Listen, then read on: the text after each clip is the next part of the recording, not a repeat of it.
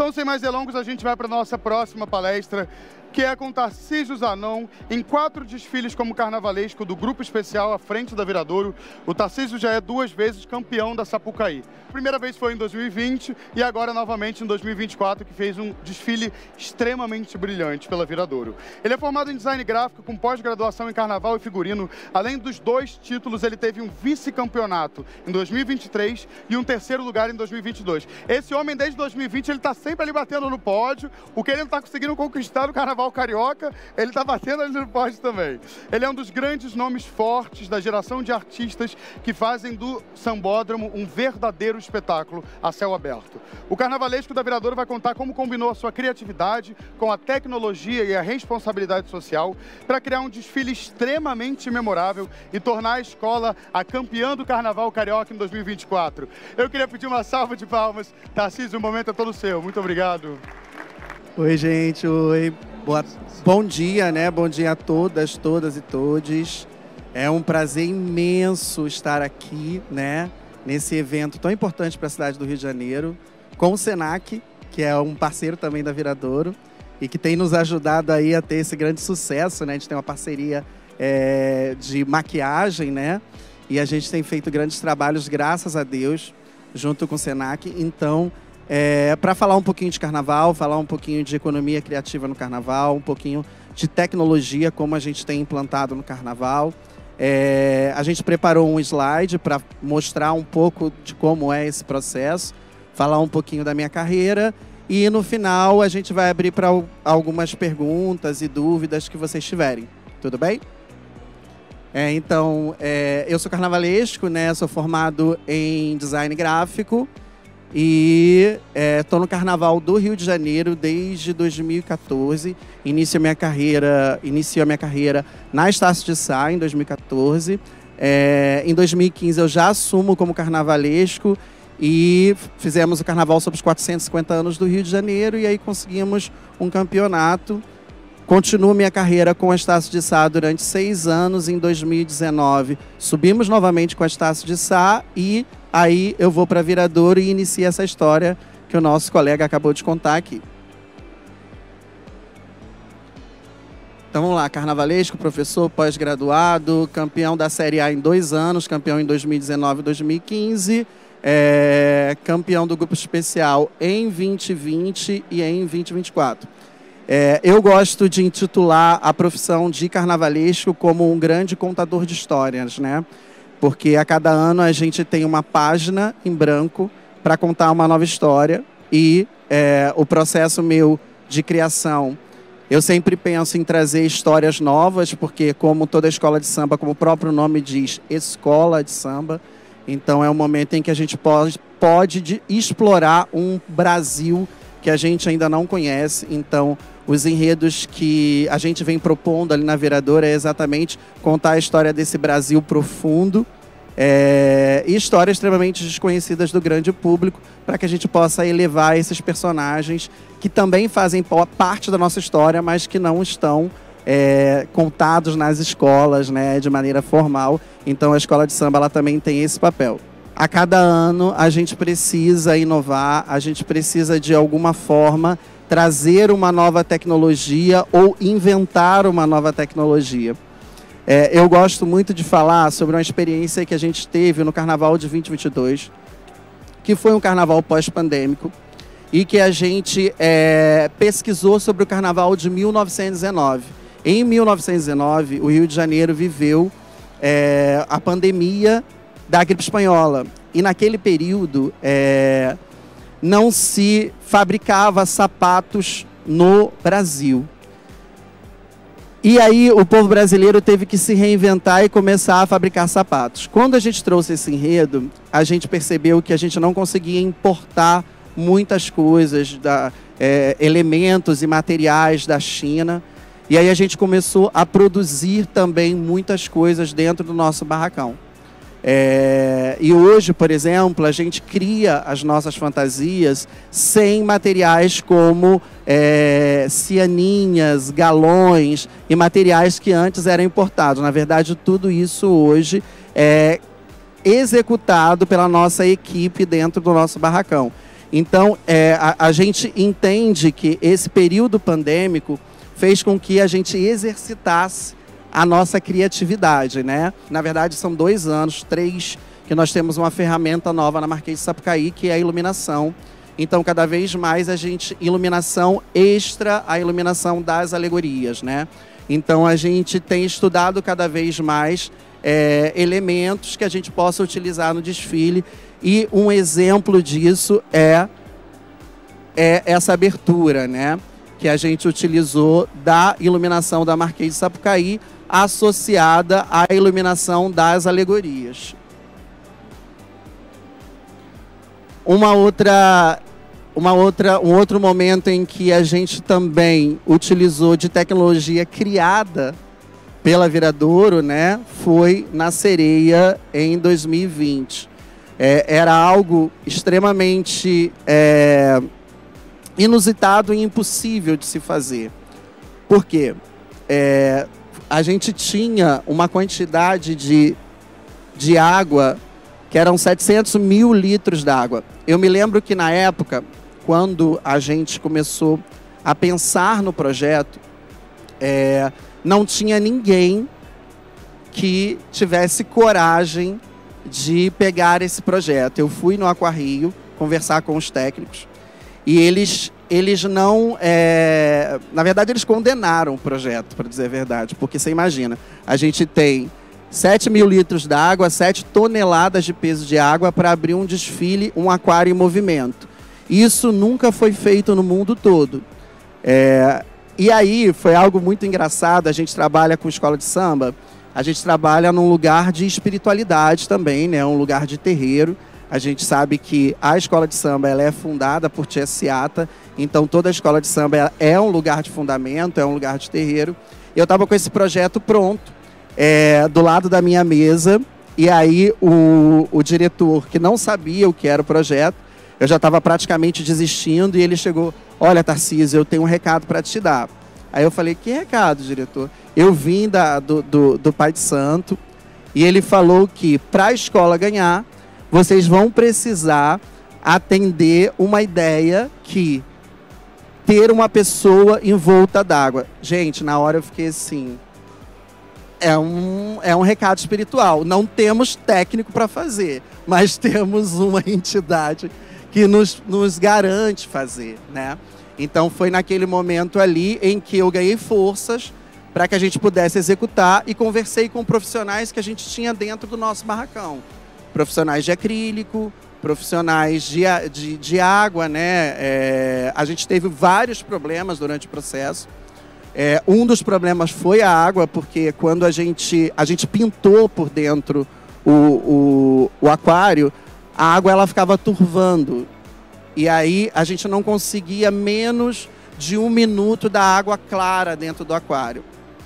E aí surgiu a ideia da gente estar tá utilizando água mineral. Então foram utilizados no desfile dois, é, dois caminhões-pipa de água mineral para conseguir executar a, a sereia, que foi um sucesso e também ajudou a escola a, a sagrar o campeonato ali em 2020. Eu acho que vocês lembram da imagem da sereia, né?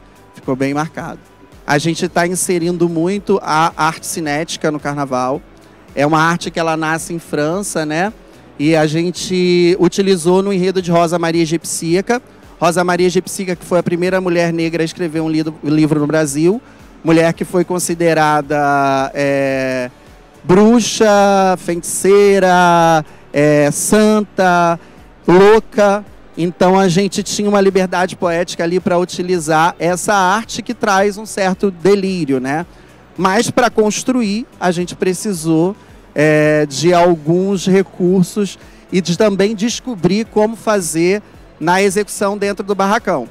Só para vocês entenderem, a gente trabalha, em média, dentro de um barracão de escola de samba, com 380 profissionais. É, existe uma ideia muito equivocada de que o carnaval ele é construído, construído assim muito rapidamente. A gente já iniciou, por exemplo, esse processo, mas no ápice a gente tem 380 profissionais dentro do barracão, que são artesãos, pessoas que, que é, é, é entre carpinteiros, costureiras, aderecistas, é, que estão ali para ganhar o seu pão de cada dia né, durante todo esse período do ano. E aí, para construir essa ideia, a gente precisou da, do, do conhecimento, é, do entrecruzamento de um conhecimento de Parintins com o Rio de Janeiro. Hoje existe muito esse fluxo, né?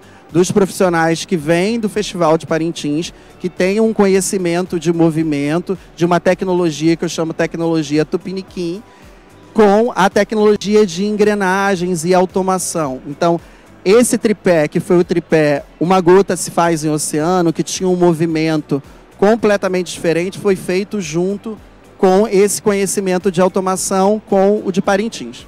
Todo carnaval desse ano, é, a gente contou a história do, do Vodum do Infinito, né? A Roboboidambê, a serpente sagrada. É, eu queria trazer uma África que fosse ofídica, uma África que tivesse um olhar diferente, é, que fosse falvista, que a gente pudesse brincar com as cores. Então, o pensamento foi é, trazer materiais refletivos para que a gente pudesse ter essa, essa interação com a iluminação. Então, é, a ideia foi conseguir o um material que a, gente, que a gente vê na estrada, que é o olho de gato, que é quando a luz bate nesse material, ele reflete, né? Hoje existem várias é, é, empresas né, que produzem esse material com cores cítricas uma série de cores. E aí eu consegui esse material em São Paulo e trouxe para o Rio de Janeiro e construímos toda a nossa abertura com esse material. É, percebi que com a iluminação do Combo Blue, o Combo Blue, na verdade, é, é aquela iluminação que, que acende tudo no azul, que alguns chamam de luz negra, né? E aí essa combinação fazia com que esse material refletisse muito. Então foi uma forma que é, no momento em que se acendia o combo blue, a gente conseguia aquele momento de magia que a serpente se, transform, se transformava no arco-íris, que é o símbolo do infinito. Então, é, foi um momento de surpresa para a Marquês de Sapucaí. E aí, inclusive, não só para a Marquês de Sapucaí, como para os próprios componentes, que não sabiam que a roupa deles iriam acender. E foi a coisa mais linda quando as baianas perceberam que as roupas delas estavam se acendendo. Foi um momento bem mágico que eu queria mostrar para vocês.